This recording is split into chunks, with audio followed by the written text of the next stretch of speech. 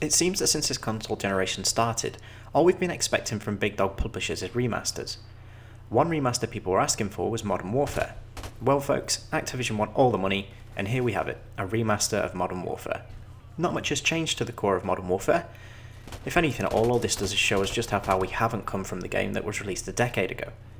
The developers at Raven Software, they did the port, were quick to let us know that they didn't want to tweak a lot of things as it would ruin the flow of the original game.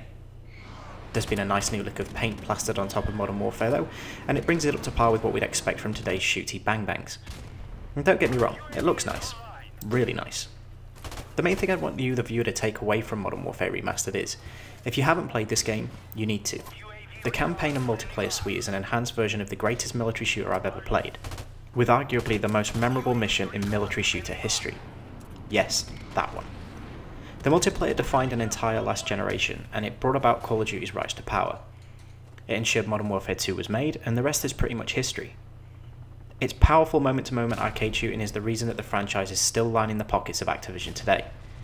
And even with lashings of hate around its new current project, Infinite Warfare, it's still going to make millions. One of the big reasons behind that is the exceptional video game experience that comes bundled with the special editions. It hits the nostalgia button really hard, and along with Halo 3, they were my ramps onto the shooter genre. It's when I stopped playing kids games and hugging my Nintendo, I realised what adult gaming really looked like. Which is kind of ironic now, because the franchise's online modes are played by snivelling snot monkeys called I Just Bummed Your Mum 69 420 for days. I digress.